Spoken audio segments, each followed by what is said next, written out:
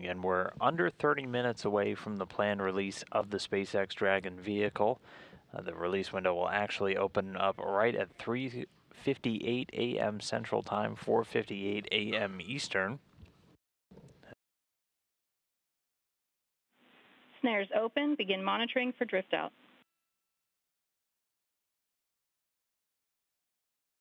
You can see the gap slowly opening, so the release coming right on time, 3:58 a.m. Central Time, 4:58 a.m. Eastern. The station flying about 260 statute miles over the Earth, just to the south of Australia. Back off in progress.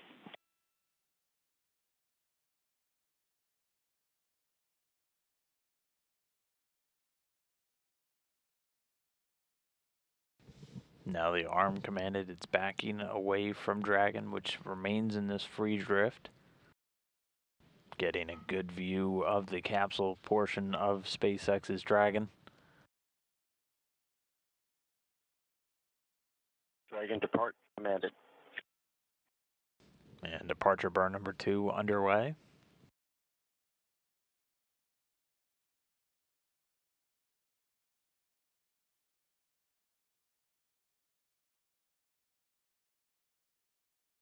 And so two departure burns in the book, one more to go.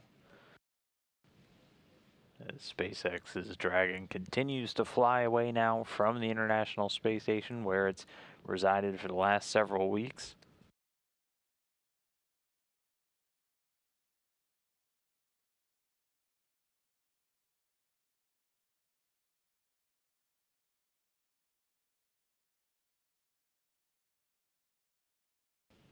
Everything continuing to go smoothly. Dragon still flying away from the station.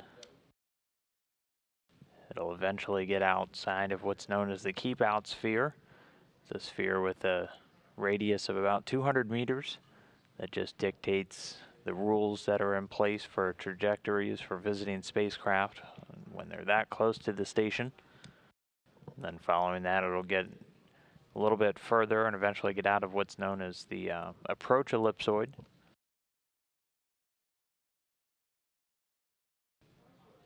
Third burn coming up shortly.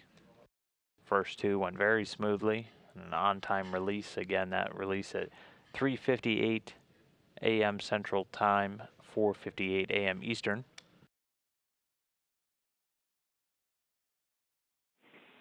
Station Houston on two, departure burn three is complete. Dragon is outside the keep out sphere.